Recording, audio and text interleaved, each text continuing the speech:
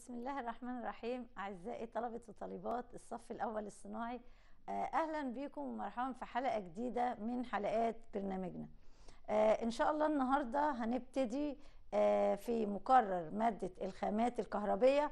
إحنا الأسبوع اللي فات ابتدينا وقلنا جزء تمهيدي لإيه هو المقرر اللي هنشتغله إن شاء الله في الترم الثاني إحنا الترم الثاني زي ما قلنا هنشتغل ثلاث أبواب اللي هو الباب الرابع والخامس والسادس لأن إحنا خدنا في الترم الأول الثلاث أبواب الأولانيين.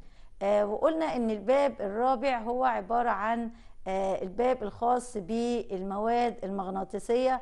هنتكلم في هذا الباب عن إيه هي المواد المغناطيسية وإيه هي الخواص الخاصة بكل مادة. آه، هنبدأ نعرف في الباب دوت أول حاجة عندنا في المواد المغناطيسية إيه هي الخواص المغناطيسية للمواد؟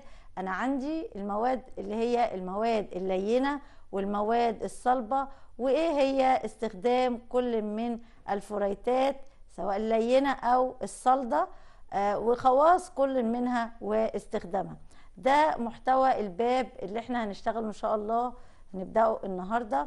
أول حاجة عندنا في الباب آه الرابع بالنسبة لنا الباب الأول في الترم الثاني اللي هو المواد المغناطيسية وخواص المواد آه زي ما إحنا عارفين يا أولاد إن. المادة المغناطيسية أو آه المغناطيس المغناطيس دوت تم اكتشافه زي ما قلنا في الحلقة السابقة من راعي أغنام كان بيسير بالأغنام بتاعته فلما تعب وقعد على صخرة لقى إن العصا اللي هو كان ماسكها كان في نهايتها جزء معدني فلقى إن هو الجزء المعدني أو العصا دي مسكت في الصخرة فعلشان يشيلها وجد صعوبة شوية أو بذل جهد علشان يبتدي يشيل العصا اللي مسكت في الصخرة دي. تعددت الأقاويل في اكتشاف المغناطيس لأن كان في أكتر من رواية لاكتشاف المغناطيس. يمكن الرواية دي هي الأكثر انتشارا. تمام؟ فإحنا بنقول إن المغناطيس علشان ندرسه وندرس مواده قلنا إزاي بنعرف عرفنا المغناطيس. هو في البداية المغناطيس دوت بيكون من المواد الاكثر انتشارا في القشرة الأرضية. يمكن تاني مادة بتوجد في القشرة الأرضية انتشارا بتكون تقريبا نسبتها حوالي 28% من باقي المواد يعني بتكون منتشرة بكثرة. طبعا إحنا عارفين إن المغناطيس لو جينا على شكل المغناطيس هو عبارة عن حجر صخري بيكون لونه ما بين الأسود والرمادي تمام؟ بيكون من خواصه إن هو بيجذب بعض المعادن وبيكون المعادن اللي هو بيجذبها دي هي طبعا المعادن الإيه؟ آه المعادن المغناطيسية أو المعادن القابلة للمغناطة. تمام كده؟ آه إحنا بالنسبة لمعدن آه أو مادة المغناطيس إحنا هنشوف أول حاجة عندنا إن المغناطيس الكهرباء المغناطيس عندنا بيكون ليه أي مغناطيس إحنا بيتم صناعته بيكون ليه قطبين. يعني أنا لو جبت أي معدن وحولت المعدن ده إلى مغناطيس. طيب أنا طبعا هحول إزاي معدن إلى مغناطيس؟ وبيبقى ليه قطبين إزاي؟ لو أنا جبت معدن يا ولاد ولنفرض إن عندي دي قطعة معدن وجبت قطب مغناطيس وبدأت أحركه على المعدن ده في اتجاه واحد بس لازم يكون في اتجاه إيه؟ واحد. لأن إحنا عارفين إن المغناطيس بيكون ليه قطبين قطب شمالي وقطب جنوبي اللي هو عندنا بيكون القطبين بتوعه اللي هو النورث والساوث. طيب آه عندي اشتهر المغناطيس بلونين اللي هو اللون الأحمر واللون الإيه واللون الأزرق علشان يبقى معروف اقطاب علشان يبقى معروف إيه؟ اقطاب زي ما إحنا شايفين بيدوا رمز الان للون الأحمر والاس للون الايه للون الأزرق. فأنا لو عندي أي معدن من معادن القابله للمغناطيس لو أنا عشان أحولها إلى مغناطيس ببدأ أعمل عملية إيه؟ عملية آه تحريك عليه بمغناطيس. فهلاقي إن المادة دي هتتحول لإيه؟ لمعدن مغناطيسي. طب لو أنا عندي قطعة معدن تمام؟ وأنا قلت إن المعدن ده خلاص بقى مغناطيس فليه قطبين؟ قطب شمالي وقطب إيه؟ وقطب جنوبي. تمام؟ طب لو أنا بدأت آه، أقطع قطعة المعدن دي قسمتها جزئين إيه اللي هيحصل؟ لو أنا جيت من عند القطب مثلا زي ما إحنا شايفين في الرسمة من عند القطب الشمالي هنا أهوت والجنوبي في النص هنا وبدأت أعمل إيه؟ بدأت هنا أقطع المغناطيس ده إيه اللي هيحصل؟ لو أنا قطعت من هنا ولا هيحصل حاجة. برضو الجزء اللي أنا هقطعه هو كمان هيتحول إلى قطبين. مش معنى كده إن هو بقى قطب واحد آه، النورث أو الساوث. لا برضو هيتحول إلى قطبين. ولو خدت اللي أنا قطعته ده وقسمته مرة تانية برضو هيتحول إلى إيه؟ قطبين. لا يوجد نهائي آه، مغناطيس ليه قطب واحد. علشان كده إحنا بنقول إن المغناطيس ذو القطبين. ده الاسم اللي إحنا ب... آه، آه، نعرفه عن الايه المغناطيس لأن مهما اخدت جزء وقسمته إلى أكتر من جزء لازم في النهاية الجزء الصغير اللي معايا هيكون قطب شمالي وقطب إيه وقطب جنوبي. ولو أنا دلوقتي آه مسكت مثلا آه قطعة المغناطيس دي وعلقتها وخليتها حرة الحركة ويمكن الجزئية دي أنتوا خدتوها قبل كده آه، إيه اللي هيحصل؟ هلاقي ان ال- المغناطيس اللي أنا ماسكة ده هو هيتجه لوحده إلى اتجاه الشمال والطرف الثاني هيتجه إلى اتجاه الإيه؟ الجنوب من الكرة الإيه؟ الأرضية. آه، ده بيحصل ليه؟ لأن الكرة الأرضية ليها مجال مغناطيسي. زي لما إحنا بنقول مثلا آه، لو أنا مسكت آه، حاجة ورميتها إيه اللي هيحصل؟ هتقع هتنزل لتحت ليه؟ لأن الكرة الأرضية فيها جاذبية تمام؟ زي بالظبط كده. أنا عندي إن الكرة الأرضية برضو هيكون فيها مجال مغناطيسي. علشان كده لو أنا علقت قطعة مغناطيس هلاقيها بتتجه إلى النورث والإيه والساوث اللي هو الشمالي والجنوبي. آه ودي هي آه الفكرة اللي آه بناء عليها آه ابتدوا يعملوا الإيه؟ البوصلة لتحديد الاتجاهات. أنا بس حبيت أقول لكم يا أولاد الجزئية دي علشان تبقوا فا- فاهمين إحنا بنتكلم إيه عن إيه. مش نبقى عارفين يعني مغناطيس بالاسم وخلاص وان أنا بشوفه قدامي بيجذب. طيب إيه اتجاهه إيه اقطابه لازم نبقى عارفين الكلام ده إيه. كويس. بعد كده بنقول عندنا حاجة اسمها معامل النفاذية المغناطيسي. إيه هي معامل النفاذية المغناطيسي؟ معامل النفاذية المغناطيسي ده العلاقة اللي هتكون بين كثافة الفيض B وشدة المجال H لأن أنا عندي هنرمز لكثافه الفيض بالرمز B وشدة المجال هنرمز لها بالرمز إيه H. آه أي مغناطيس هيكون حواليه مجال مغناطيسي. المجال المغناطيسي ده الحيز اللي بيتم فيه عملية إيه؟ جذب المواد. لأن لو أنا عندي المادة بعدت عن خطوط مجال آه، المغناطيس هلاقي إن المادة دي حتى لو كانت هي مادة قابلة للجذب هلاقيها إن هي مش هتن إيه مش هتنجذب. الدليل على كده إن أنت لو معاك قطعة مغناطيس وقربتها من المغناطيس هيحصل لها عملية جذب للمغناطيس. طب لو أنا بعدتها مسافة بعيدة إيه اللي هيحصل؟ هلاقي إن مفيش جذب. ليه؟ لأن المعدن اللي أنت ماسكه ده بعد عن خطوط مجال المغناطيس. أو النطاق الخاص بالمغناطيس اللي يقدر من خلاله يجذب المادة دي. تمام كده يا أولاد؟ طيب. إحنا قلنا إن أنا عندي هنرمز رمز لكثافه الفيض بالرمز بي وشدة المجال هنرمز لها بالرمز إيه اتش علشان هنحتاجه في بقية الإيه؟ الحلقة نكون فاكرين. طيب. وحدة المجال المغناطيسي خلاص. وكثافة الفيض اللي هي إيه؟ عندنا متر ويبر على متر مربع أو وأمبير لفة لكل إيه؟ لكل متر. آه، عندنا معامل النفاذية المغناطيسي هو مقاس بدرجة نفاذ الخطوط المغناطيسية في المادة يعني ببدأ أعبر عن معامل النفاذية المغناطيسي هنديله رمز ميو تمام؟ ف mu دي بنعرفها بالعلاقة اللي هي إيه؟ mu naught في mu n. يبقى mu تساوي mu naught في mu n يعني إيه mu naught ويعني إيه mu n إحنا عرفنا إن mu هي معامل النفاذية المغناطيسي. طيب mu naught mu naught اللي هو معامل نفاذية في الإيه؟ للفراغ. طب mu n معامل النفاذية النسبي لأي إيه؟ لأي وسط. يبقى mu naught معامل النفاذية للهواء أو الفراغ. mu n معامل النفاذية النسبي للإيه؟ للمادة. تمام كده يا أولاد؟ بعد كده بنقول إن أنا عندي المواد المغناطيسية من حيث خواصها بتنقسم إلى ثلاث أنواع.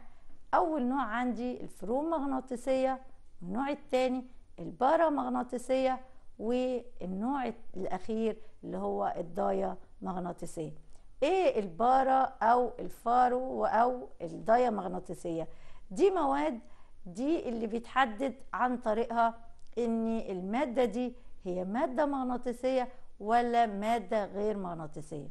طيب إزاي المادة دي بتكون دي مادة مغناطيسية ومادة تانية تكون غير مغناطيسية؟ مع إن ممكن تكون دي معدن ودي معدن.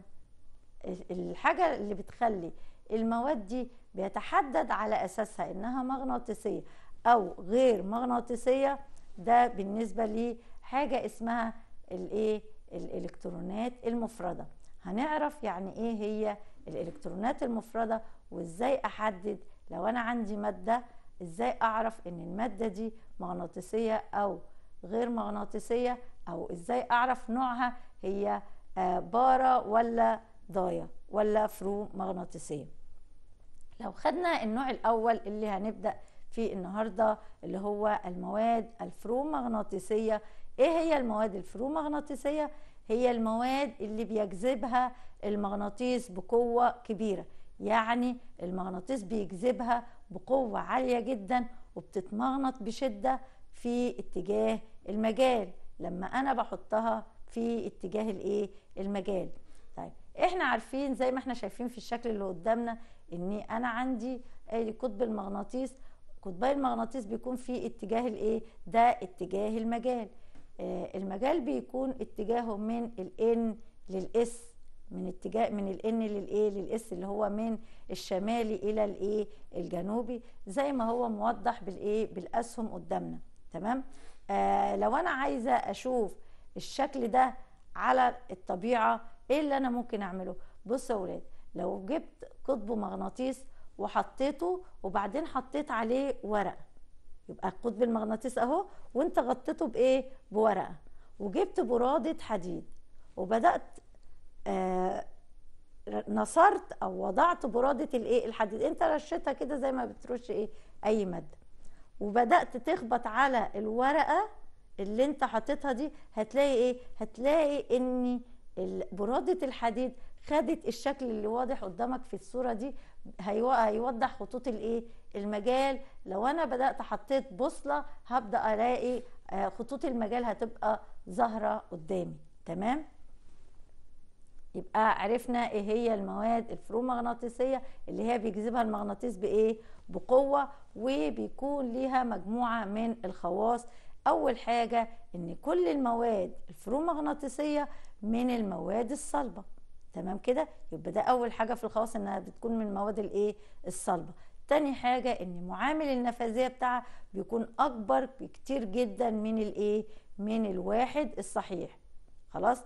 وهو بيكون مقدار النفاذية النسبية للهواء. بعد كده الخواص الفرومغناطيسية دي بتظهر في إيه؟ بتظهر في أو بتكون واضحة جدا في الحديد والنيكل والكوبالت وبعض السبائك لأن أنا ممكن أعمل سبائك علشان تكون مواد إيه؟ مواد فرو مغناطيسيه يبقى إحنا عرفنا دلوقتي إيه هي خواص المواد الفرومغناطيسية. أول حاجة وأهم حاجة إن المواد الفرومغناطيسية لازم نبقى عارفين اللي هي بيجذبها المغناطيس بإيه؟ بقوة. وإن معامل النفاذيه المغناطيسية بتاعها بيكون أكبر بكثير من الإيه؟ من الواحد الصحيح. تمام؟ بعد كده بنقول إن إحنا عندنا إيه هي المنطقة المغناطيسية؟ آه بصوا يا أولاد المنطقة المغناطيسية أنا لو أنا جبت دلوقتي قطعة حديد مثلا وخدت منها جزء صغير جدا وكبرت قطعة الحديد الصغيرة دي آلاف المرات على ميكروسكوب إيه اللي إحنا هنلاحظه؟ هنلاحظ إن أنا عندي هنلاقي إن خطوط المجال المغناطيسي عندي دي بصوا كده هتكون بالشكل ده اللي هي غير منتظمة. هتكون غير منتظمة. طيب علشان أخليها منتظمة علشان تخليها منتظمة لازم تحطها في مجال مغناطيسي. يعني لو أنا مسكت قطعة الحديد وحطيتها بين قطبي مغناطيس زي ما هو واضح قدامنا هنلاقي ان آه خطوط المجال الخاصة بالإلكترونات حصل لها عملية إيه؟ عملية انتظام لأن هي أصبحت دلوقتي أصبحت مغناطيسية. ليه أصبحت مغناطيسية؟ لأن هي في وسط أو ما بين وسط إيه؟ وسط مغناطيسي. تمام كده؟ يبقى المجالات المغناطيسية للإلكترونات عندي في الذرات العشوائيه بتكون حركتها إيه؟ بتكون الذرات دي عشوائية. خلاص؟ آه اتجاهها واتجاه الإلكترونات نفسها بتعمل كمغناطيس يعني هي نفسها الذرات دي أو المجالات دي بتعمل كإيه؟ كمغناطيس علشان الترتيب بتاعها. تمام؟ الترتيب إيه هنا؟ ترتيب عشوائي. طيب لو أنا قلت يا أولاد دلوقتي باستخدام مغناطيس هيتم تحويل قطعة الحديد دي الغير ممغنطة طبعا إلى حديد إيه؟ إلى حديد ممغنط. وزي ما قلنا لو أنا مسكتها وبدأت أقسمها إلى مجموعة من الأجزاء كل جزء عندي هيكون إيه؟ كل جزء هيكون مغناطيس منفصل. ليه قطبين؟ قطب شمالي وقطب جنوبي. خلاص؟ آه عندنا قلنا إحنا عندنا آه الكرة الأرضية زي ما قلنا فيها مجالات إيه؟ مجالات مغناطيسية. تمام كده؟ أنا عندي بالتسخين الشديد إيه اللي هيحصل؟ لو أنت سخنتها سخنت جزء من معدن أو بدأت تترك عليه بشدة بحيث إن هي اكتسبت إيه؟ اكتسبت كمية من الحرارة. إيه اللي هيحصل؟ هتلاقي إن واجهتها هتختلف. واجهتها المغناطيسية إيه؟ هتختلف وهتزول المغناطيسية. يبقى بتزول المغناطيسية بإيه؟ بالحرارة. يبقى لو أنا ممكن يقول لي وضح كيف يمكن أو علل كيفية زوال المغناطيسية أو اختلاف اتجاهها. علشان يزول المغناطيسية هكسبها إيه؟ هكسبها حرارة أو عن طريق الترك الإيه؟ الترك لعدة مرات لأن الترك لعدة مرات هيديها برضو هيديها إيه؟ هيديها طاقة حرارية وبالتالي هتفقد المغناطيسية بتاعتها. تمام كده سنة أولى؟ بعد كده ننتقل على المادة الثانية وهي البارامغناطيسية. إيه هي البارامغناطيسية؟ دي المواد اللي بتنجذب للمغناطيس. طب ما الفرومغناطيسية كانت برضو بتنجذب بس الفرومغناطيسية كانت بتنجذب بقوة. أنا عندي دي هي مواد بتنجذب للإيه؟ للمغناطيس بدرجة أقل من الفرومغناطيسية. طيب آه ليه بدرجة أقل أو بدرجة أكبر؟ بصوا يا أولاد هنا لو إحنا بصينا في الجزء ده إحنا عندنا إن الإلكترونات بنقول بتكون المادة علشان تبقى مغناطيسية لازم يكون فيها حاجة اسمها إلكترونات مفردة. طيب إيه هي الإلكترونات المفردة؟ لو أنا عندي أي أي مادة آه مثلا الحديد أو آه النيكل ايا كان المادة اللي أنا هوزعها بنقول أنا بشوف المادة دي في الأوربيتالات بتاعة ال S وال D في توزيع المادة بتاعتي الخاص بالإس والدي. لو كان الإس أو الدي في إلكترون مفرد يبقى المادة دي مغناطيسية. قوة مغناطيسها أو قوة المغناطيسية بتاعتها بتعتمد على إيه؟ قوة المغناطيسية بتعتمد على عدد الإلكترونات الإيه؟ المفردة. عدد الإلكترونات المفردة. لأن إحنا عارفين آه إن في عندي في ال D. لو أنا جيت أوزعها ال D عبارة عن خمس أوربيتالات أو أنا عندي خمس أماكن زي ما إحنا شايفين في المستطيل اللي مرسوم قدامكم أنا ببدأ أوزع فيه ال S أو أو ال D فأنا لما أوزع ال D هنا هلاقي إيه؟ هلاقي يا ترى في إلكترونات مفردة ولا لأ؟ بناء على ده هيتم تحديد هي مادة مغناطيسية ولا غير مغناطيسية أو بارامغناطيسية ولا آه فرو ولا دايا مغناطيسية. طيب إزاي بقى؟ بصوا هنا يا أولاد لو أنا خدت مثلا السكنديوم السكنديوم إيه؟ لو أنا بوزع عندي بيكون في حاجة اسمها الأرجون بيكون توزيعه 18 السكنديوم أصلا 21 فلو جيت أوزع ال 21 هيبقى عندي الأرجون 18 والفور إس هتاخد اتنين هي بتتملي باتنين يبقى 18 واتنين كام؟ 18 واتنين 20 هيتبقى من السكنديوم واحد. الواحد اللي هو هياخده ال 3 دي هوزعه تحت هنا هيبقى شوفوا هنا اهوت هيبقى فيه هنا الكترون إيه مفرد. آه الجزئية دي أنا حبيت أجيبها لكم علشان تعرفوا إزاي بحدد أو بيقولوا يعني إيه هم عرفوا منين إن دي بارا مغناطيسيه أو فرو مغناطيسيه أو ضايه مغناطيسيه وبالاخص البارا والضاية أنا ببدأ أفرق من إيه؟ من الجزئية دي. لو أنا عندي هنا اهوت جبت مادة تانية وكان ال 3 دي بتاعتها لو أنا جيت أوزع أي مادة تانية وال 3 دي هنا دي خدت أربعة إيه اللي هيحصل؟ هلاقي هنا إلكترون مفرد وهنا وهنا وهنا. يبقى في أربع إلكترون إيه؟ أربعة إلكترون مفرد. يبقى المادة دي مادة إيه؟ مادة بارامغناطيسية. طبعا مش هتكون ضاية لأن إحنا هنقول إن إيه لما نخلص الجزئية دي هنوصل للضاية إن هي ما ينفعش يكون فيها إلكترونات إيه؟ مفردة.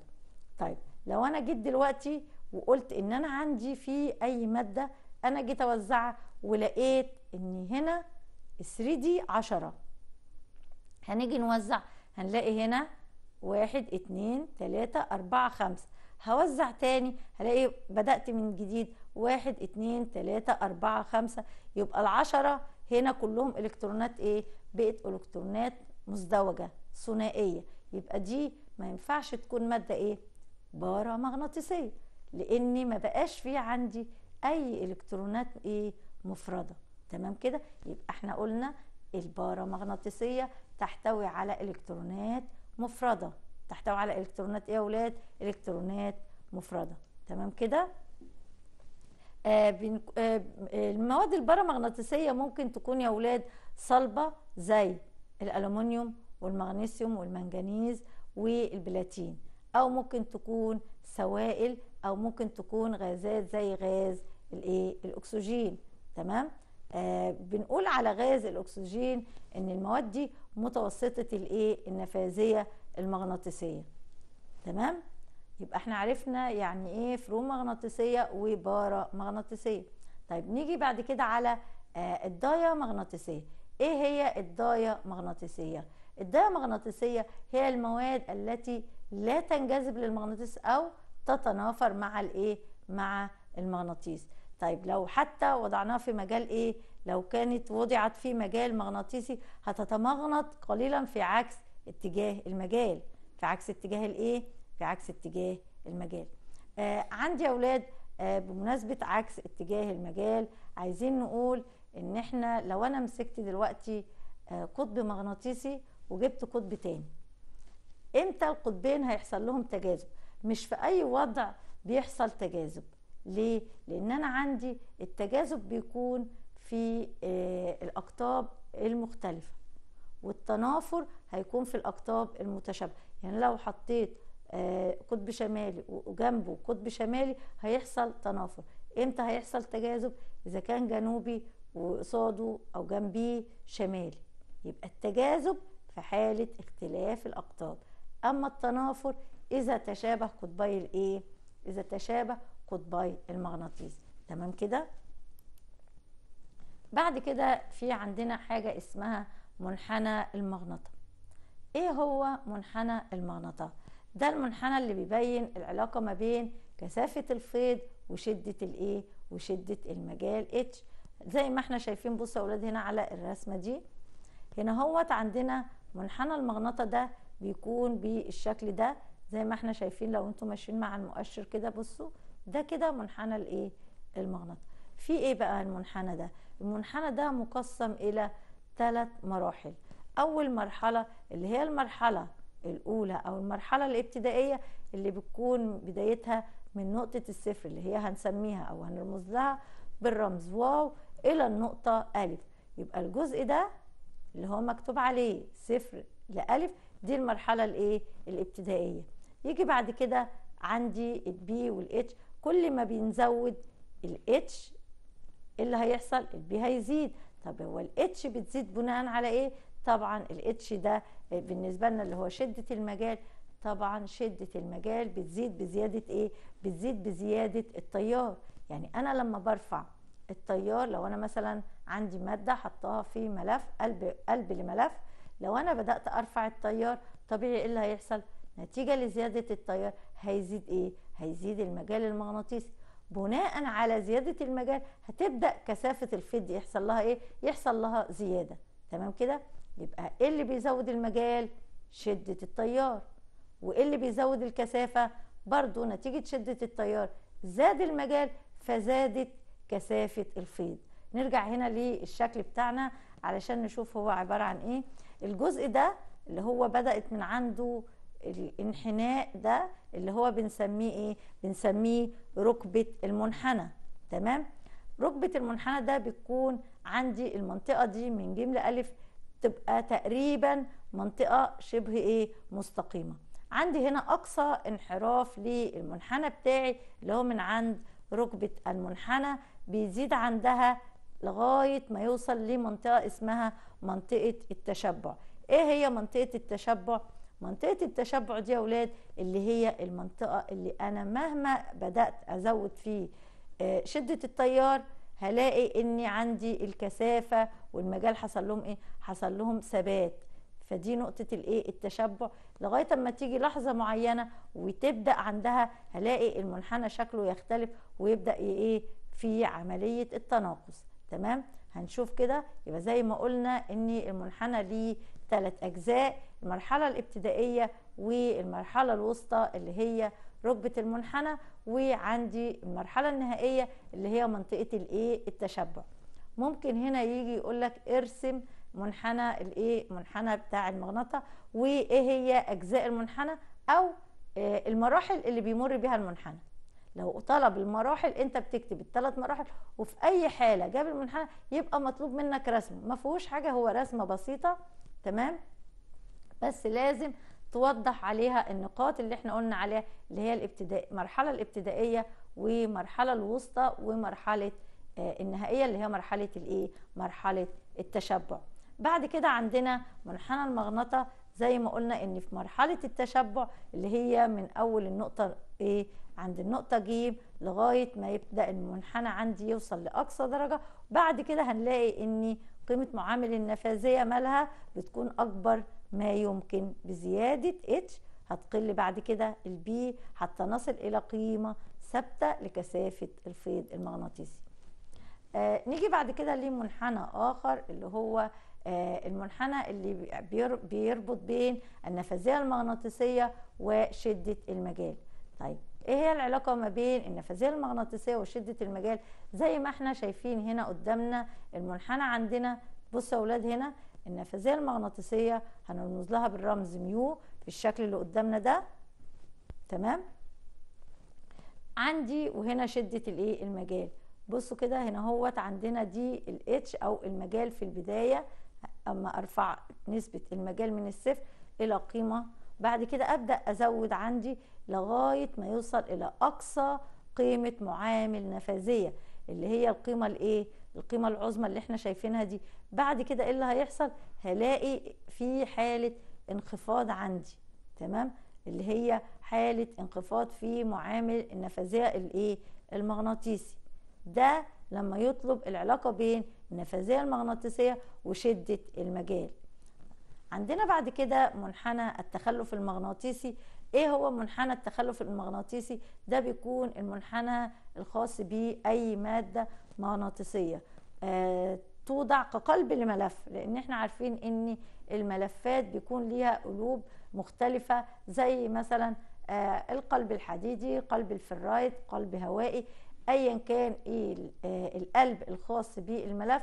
فهنشوف إزاي شكل المنحنى التخلف المغناطيسي الخاص بالمادة دي. عندنا هنا يا أولاد ده شكل المنحنى. طيب المنحنى ده جه إزاي؟ بصوا هنا عندي إحنا بنمرر تيار متردد تمام؟ ادي نقطة الصفر. بيبدأ التيار المتردد هنا في الزيادة. نتيجة زيادة التيار إن أنا رفع آه التيار المتردد بتاعنا يعني أنا برفع قيمة التيار هنا أهوت زي ما إحنا شايفين في الموجة الكاملة دي. بصوا كده يا أولاد الموجة الجايبية دي بدأت عندي هنا في الازدياد يعني التيار بيزيد. إيه اللي هيحصل؟ من عند نقطة الزيرو دي شايفين هنا هيبدأ المنحنى عندي تمام؟ في الازدياد. طيب إيه اللي هيحصل بعد كده؟ هيبدأ يوصل لأقصى قيمة. أقصى قيمة في التيار المتردد هي النقطة دي. بعد كده يبدأ ينزل عندي التيار. هيبدأ شوفوا كده هيبدأ ينزل في الاتجاه ده. زي ما إحنا ماشيين بالمؤشر شايفين؟ يبقى هو بدأ من هنا من نقطة الصفر. ابتدى ينزل مع نقصان التيار المتردد. بس إحنا ده كله خلوا بالكم إحنا فين؟ في النص الموجب. إحنا في النص الموجب. فهيبدأ هنا اهو هيبدأ ينزل كده مع نقصان التيار إلى النقطة دي. تمام؟ طيب بعد كده هنلاقي إن في النص السالب هيبدأ في التناقص. خلاص؟ هنا اهوت لغاية ما يوصل لأقصى إيه؟ لأقصى قيمة. أو بالنسبة لنا أعلى قيمة بس في النص السالب. اللي هو هيبدأ هنا يكمل في الاتجاه ده. دي أعلى قيمة بس في الاتجاه الإيه؟ بس في الاتجاه السالب. يبدأ بعد كده علشان عندي هنا هو الجزئية دي اللي هي هيبدأ فيها يرجع الإيه؟ المنحنى عندي لغاية النقطة دي. تمام؟ طيب إيه هي المنطقة اللي هنا؟ المنطقة دي اسمها المغناطيسية المتبقية. المغناطيسية المتبقية. المغناطيسية المتبقية دي آه بتحتاج حاجة اسمها قوة إجبار. بتحتاج حاجة اسمها إيه يا أولاد؟ قوة إجبار. وقوة الإجبار دي اللي هي فين؟ اللي هي من أول نقطة الصفر إلى نقطة تقاطع المنحنى مع المحور الأفقي اللي هي دي. يبقى من هنا لهنا دي بنسميها قوة إيه؟ قوة إجبار. وهنا دي اسمها المغناطيسية المتبقية. ضروري جدا تعرف المنطقتين دول لأن دولت أهم جزء في الإيه؟ في المنحنى إن أنا أعرف إيه هي المغناطيسيه المتبقية وقوة الإجبار. طيب زي ما إحنا قلنا آه في منحنى التخلف إن بزيادة التيار بيزيد إيه؟ بتزيد شدة المجال وبالتالي تزيد كثافة الفيض تمام؟ لو قلت قيمة شدة المجال يا أولاد لغاية الصفر يعني إحنا قللنا المجال لغاية ما وصل إلى الصفر. إيه اللي هيحصل؟ هنلاقي إن المادة لا تنعدم فيها المغناطيسية. لا تنعدم فيها المغناطيسية آه لأن إحنا قلنا إن في حتى في المنحنى قلنا إن في منطقة اسمها المغناطيسية الإيه؟ المتبقية. معنى المغناطيسية المتبقية يعني لا تنعدم فيها الإيه؟ لا تنعدم فيها المغناطيسية. تمام كده يا أولاد؟ طب للتغلب على المغناطيسية المتبقية دي بنعمل إيه؟ بنعكس اتجاه شدة المجال. طيب علشان أعكس اتجاه شدة المجال يبقى هعكس إيه؟ هعكس اتجاه التيار في الملف. وده ممكن يجي وضح كيف يحدث التغلب على المغناطيسية المتبقية. أو يجي لي فيه سؤال علل يبقى للتغلب على المغناطيسية المتبقية بنعمل إيه؟ بنعكس إيه؟ نعكس خطوط المجال. طيب إزاي بنعكسها؟ هنعكسها بعكس اتجاه التيار. يبقى لو أنا عكست اتجاه التيار هعكس خطوط الإيه؟ خطوط المجال وبالتالي هتغلب على الجزء اللي إحنا قلناه اللي هو المغناطيسية المتبقية. تمام كده؟ طب لو جينا نعرف بقى قوة الإجبار. قوة الإجبار هي شدة المجال المغناطيسي العكسي اللازم لإجبار المادة المغناطيسية على إنها تفقد مغناطيسيتها أو تعمل لها إيه؟ تلاشي كثافة الفيض على المغناطيس. مهم إن إحنا نحفظ آه تعريف قوة الإجبار تمام؟ لأن أنا عندي قوة الإجبار ممكن يجي لي فيها سؤال عرفي أو السؤال اللي هو علل أو جزء فيه صح وغلط الجزء اللي إحنا لسه قايلينه. بنقول إن إحنا. تمثل المساحة المحصورة في المنحنى بقيمة إيه؟ قيمة الفقد في الطاقة الكهربية زي ما اتكلمنا عنها في بداية حلقتنا. واللي بتحول الطاقة تتحول إلى طاقة إيه يا أولاد تتحول إلى طاقة حرارية نتيجة التخلف المغناطيسي. تمام؟ آه خواص المواد المغناطيسية بتعتمد عليه. طبعا بتعتمد على قيم المغناطيسية المتبقية وقوة الإجبار لمنحنى التخلف المغناطيسي. لأني أنا عندي آه أي مادة هلاقي بعد كده في منحنيات تانية منحنيات ضيقة جدا. المنحنيات الضيقة جدا دي هتكون ضيقة ليه؟ أنا عندي هلاقي إن قوة الإيه؟ قوة الإجبار صغيرة والمغناطيسية المتبقية صغيرة. ده بالنسبة لمادة أنا رسمنا المنحنى بتاعها ولقينا إن المنحنى ده ضيق. طب المنحنى الضيق ده بيعتمد على إيه؟ طبعا على خواص المادة. نتيجة لخواص المادة المنحنى بقى ضيق نتيجة إنه ضيق يبقى المنطقة الايه آه، قوة الإجبار ضيقة والمغناطيسية المتبقية مالها هتكون صغيرة. تمام كده؟ وفي جزء تاني هنشوفه اللي هو إزاي أنتج مواد مغناطيسية من نفس المواد الأولية مع تغيير خواص كل منها. آه، المواد الأولية يعني المادة نفسها. الحديد لوحده كمادة أولية من غير ما أضيف عليه حاجات. طيب إزاي أنا بقى هنتج مواد مغناطيسية من نفس المادة الأولية دي؟ مع تغيير خواص كل منها إزاي؟ عن طريق تغيير نسب السبائك يعني بنضيف عليها بعض الإيه؟ بعض المواد. طيب نشوف إيه قوة الإجبار للمواد المغناطيسية اللينة بتبقى قد إيه؟ وقوة الإجبار للمواد المغناطيسية الصلبة قد إيه؟ يبقى أنا عندي في قوة إجبار لمادة مغناطيسية لينة وعندي قوة إجبار لمادة مغناطيسية إيه؟ صلبة. في اللينة بتكون في حدود من 4 من 10 إلى 50 أمبير لكل لفة. عندي في المواد المغناطيسية الصلبة بتكون في حدود 3 في 10 أس 5 أمبير لفة لكل إيه؟ لكل متر. ده بالنسبة لقيم قوة الإجبار. نيجي نشوف منحنى الخاص بالمواد المغناطيسية اللينة. هنا ده آه الجزء اللي أنا بقول عليه. لو أنا عندي مادة ولقيت إن هي عندي هنا هو المنحنى بتاعي كان عبارة عن إيه؟ عبارة عن آه بالشكل ده. بصوا هنا يا أولاد المنحنى جاي إزاي؟ جاي ضيق جدا في المواد الإيه؟ المواد اللينة. ده شكل المنحنى. بصوا هتلاحظوا هنا ان هنا دي اسمها إيه؟ دي قوة الإجبار. صغيرة جدا. وهنا الجزء الصغير ده ده المغناطيسية المتبقية. يبقى أنا عندي خواص المادة دي علشان هي مادة مغناطيسية لينة. خواصها بناء عليه حصل إيه؟ لقينا المنحنى شكله اختلف. تمام؟ طب لو أنا عملت فيها آه الجزء أو المادة دي عملت لها عملية إيه؟ آه ترتيب للجزيئات بتاعتها. لو أنا رتبت الجزيئات بتاعتها هلاقي إيه؟ هلاقي إن شكل المنحنى عندي هنا هو اختلف. شكل المنحنى هيكون اختلف وده الشكل الثاني للماده إذا كانت جزيئاتها حصل لها عملية إيه؟ عملية ترتيب. اختلف تماما شكل المنحنى يا أولاد وشكل قوة الإيه؟ الإجبار عندي والمغناطيسية المتبقية. شايفين شكله انتظم إزاي؟ إيه اللي حصل له؟ نتيجة حصل لترتيب الإيه؟ الجزيئات. تمام؟ آه ترتيب الجزيئات نقدر نعرف لو قال لنا آه إزاي بنرتب جزيئات المادة؟ طبعا إحنا قلنا إن ترتيب جزيئات المادة لو أنا حطيتها في إيه؟ في مجال مغناطيسي. زي ما إحنا كنا قايلين في بداية الحلقة أنا جبت لو جبت قطعة حديد وحطيت فيه حواليها مجال مغناطيسي إيه اللي حصل للجزيئات؟ لقيناها حصل لها إيه؟ حصل لها عملية ترتيب. تمام؟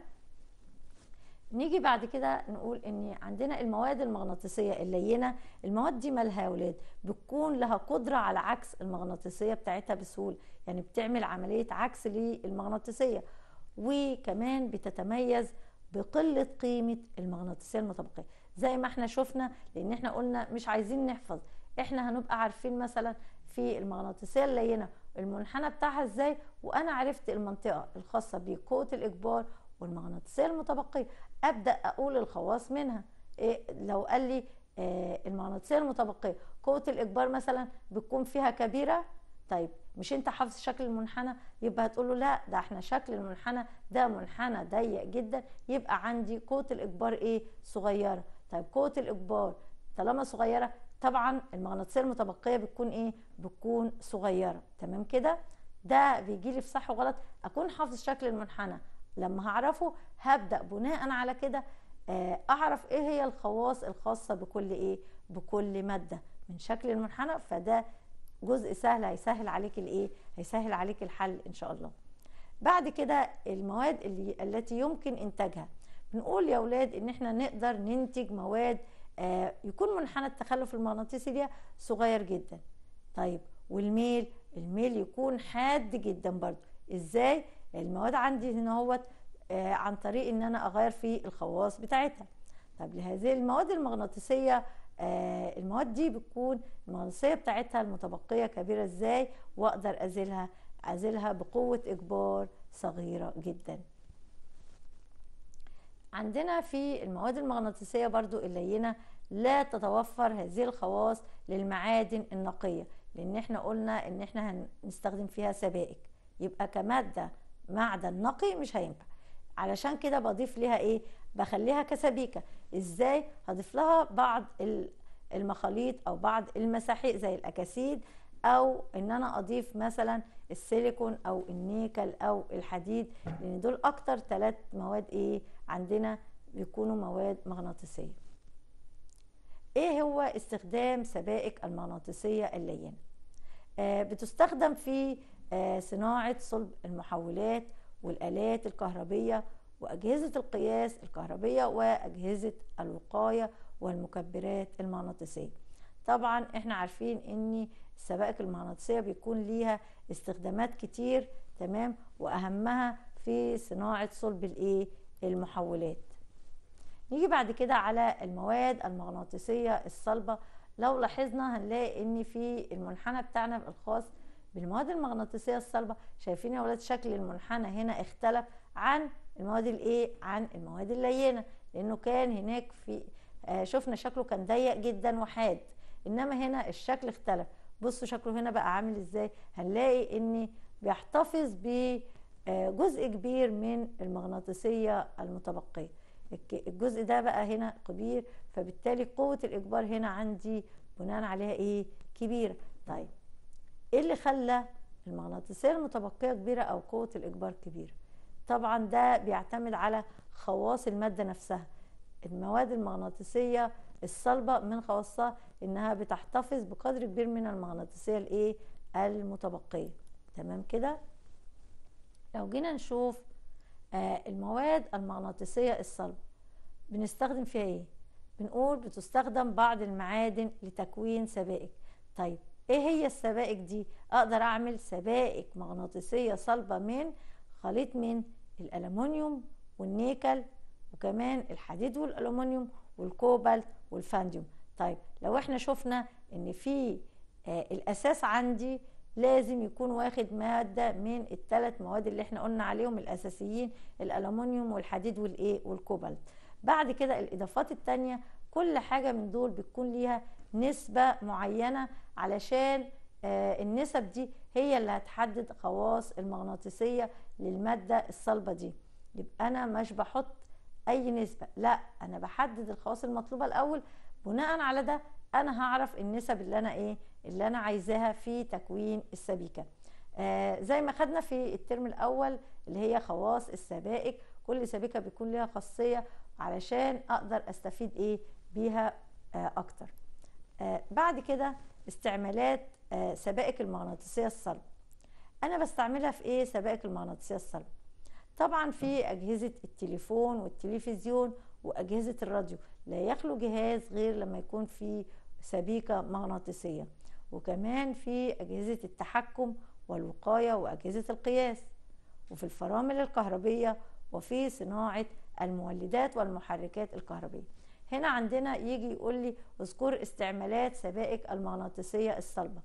دايما بيجيب يا أولاد في آه الاستعمالات لازم يجيب لي استعمال سواء استعمال آه السبائك اللينة أو الصلبة علشان يبقى عارف إن أنت في الحياة العادية بتاعتنا نبقى عارفين الحاجات دي إحنا بنستفيد منها في إيه. ما نبقاش كده حافظينه بس لا لازم نبقى فاهمين وشايفين إن فعلا مثلا لو أنا فتحت جهاز الكمبيوتر هلاقي إن الهارد فيه جزء مغناطيسي عندي التلفزيون طبعا هلاقي فيه جزء مغناطيسي.